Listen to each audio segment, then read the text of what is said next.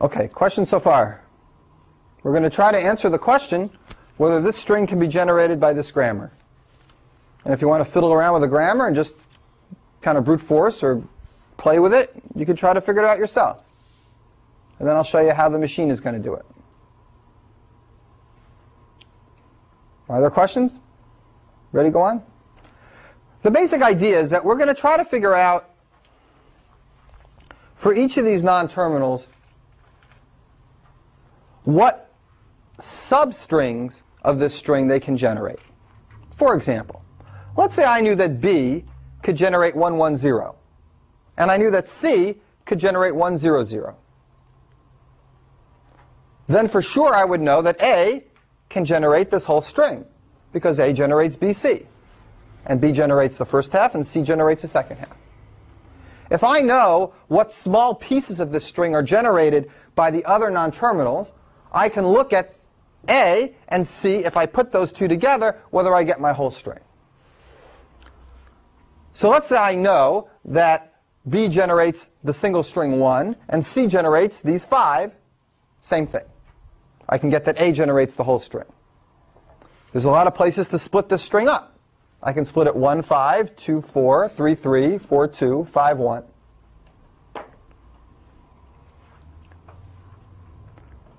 So we're going to somehow try to build up all the different substrings of this string and which non-terminals can generate them. And then build those up in terms of each other recursively until we find out which non-terminals can generate the whole string. And if the start symbol is among those, then we say yes. And if the start symbol is not among those, we say no. In this case, A is the start symbol. Okay, questions so far? So I need one notation, and then we'll do some details. Here's the notation we'll use. We'll call this Vij. This is going to be all the non-terminals that can generate a certain piece of the string. I'll tell you what piece in a second. All the non-terminals that generate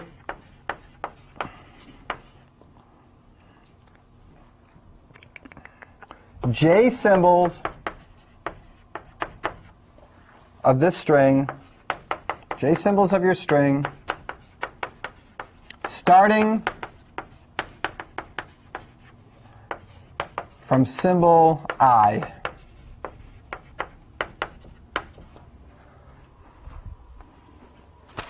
So we need that notation because this is going to give us a way to identify every single piece of this string and which non-terminals can generate it. For example, let's do a particular example. Let's do uh, let's do V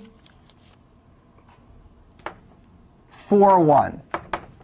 V41 are all the non-terminals that can generate one symbol starting at position 4 of this string. 1, 2, 3, 4. That means the single string 1. Which non-terminals can generate the single string 1? A and C. Why is that so easy? Because Chomsky normal form is the nicest, simplest form in the world. You just look it up, and there they are. If it generates a single one, it's got to be there in a production. So this equals the set A and C. How about V uh, 3, 1? What does V31 refer to? Again, one symbol starting in the third position. And what generates that? B and C. Okie doke. Who thinks they get that notation? Right. This is the base case. These are the ones that you can just look at and figure out yourself. When J gets bigger, it's going to be harder. And it's going to be based on smaller cases that we've already computed. And we're going to do this in a bottom-up dynamic programming style because if we did it just recursively, we would compute the same base cases many, many, many times, and that that's where the exponentiation would occur. We want to avoid that. So we're going to do these once from the bottom up, store them, and work our way upward from the bottom toward the ideal. What's the ideal? And then I'll answer your question in a second, Joe. I saw your hand. What we really want to find out is V15. I mean 6. V1, 6. We want to find out which non-terminals generate six symbols of this string starting in position 1. That will give me the answer I'm looking for.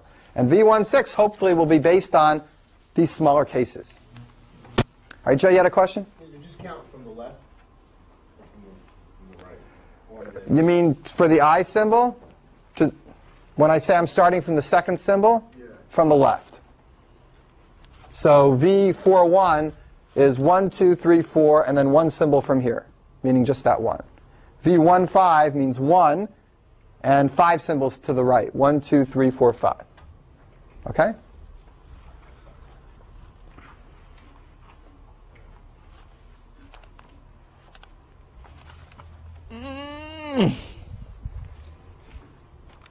All right.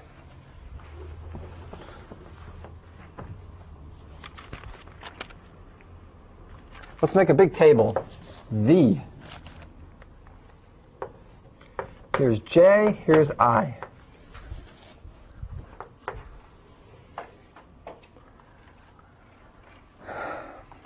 One, two, three, four, five, six. One, two, three, four, five, six. And let's fill in the base case as we know it and work our way to higher cases. The cases will work from left to right. j equals 1 will be the first base case because those are substrings of length 1, all the way up to substrings of length 6. We're going to work this way. It doesn't matter how we do it up and down, so we can start any place. All right, so V, uh, v of 1, 1. That means what are all the non-terminals that can generate one symbol starting in the first position? What are they? That's the symbol 1. AC. Agreed? What about 2, 1? That's the next single symbol string over to the right. That's another, another 1. All right.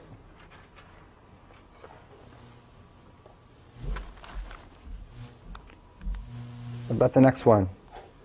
Who can do the next one? Neil, you got this stuff? Making sense? Right, BC, because it's a single zero?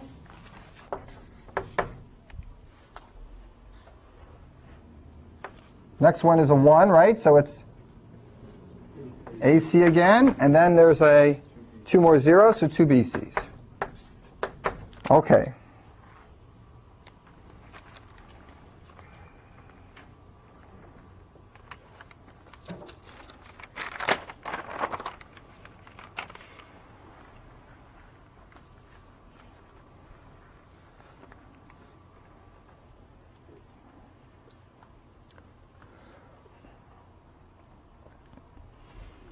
All right. Now we move over to the next column. And the next, now we have to think a little bit, because this was just the base case, and the next column is going to have to be something that is dependent on the first column. And we'll do the same thing. We'll go down in order. But now, we're only going to go this far. Why don't we go up to here? Right, 6, 2 means you go off the end of the string. There's no two symbols past the sixth one. So this table gets filled up only about halfway. The diagonal is going to go up this way. All right, so what does 1, 2 depend on? Let's look at it. 1, 2 means what are the non-terminals that generate these two symbols? Starting in the first spot, two symbols over. It depends. Let's write this down. I want to make sure you get this, even though you can eyeball it and tell me, but I want you to think about it. It depends on two other values of v. The left side of this and the right side. This one is v11, and this one is v21. It depends on v11 and v21. Let's look at v11 and v21. They're here and here. And let's ask ourselves, is there any way to combine these with this one on the left and this one on the right and get production?